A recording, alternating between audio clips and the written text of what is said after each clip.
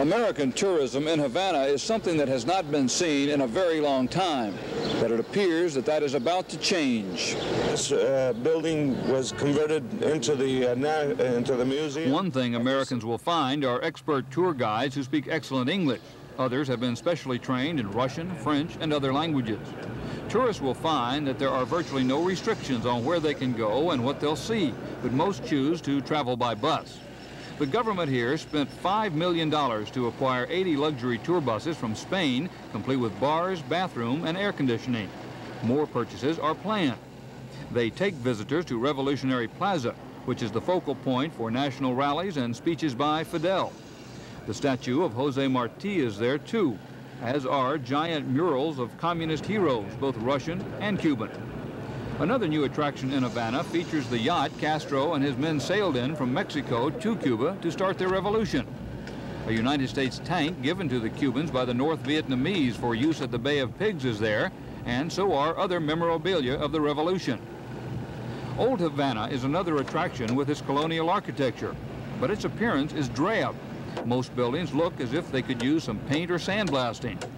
This, more than anything else in Cuba, is symbolic of the hard economic times this nation faces because of a low world price for sugar and massive welfare programs that cost more than the government can afford.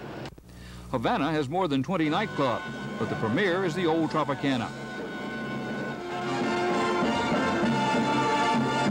Opened in 1947, the Tropicana still puts on a dazzling show, but without the gambling and naughty but nice atmosphere. Three nights a week are reserved for workers judged outstanding by their union.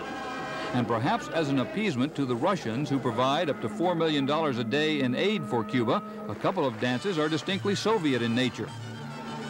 The Cubans are currently building 59 hotels all over the island in hopes of handling up to 300,000 tourists by 1980. And the existing hotels are 90% full most of the time. Boyer Palmer and his wife Fern from Minneapolis were two of the first Americans to get into Cuba after the travel ban was lifted, and they want to organize group tours from the United States. Do you think Americans are going to like this type of a vacation uh, when it's available to them?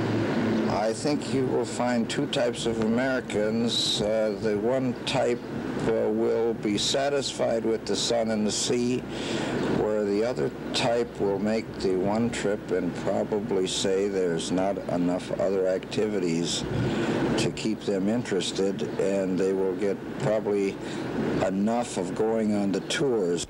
There's no question the Cubans want Americans to visit because they need the hard currency, but they also are wondering how their presence and demands will affect this rigidly controlled communist society.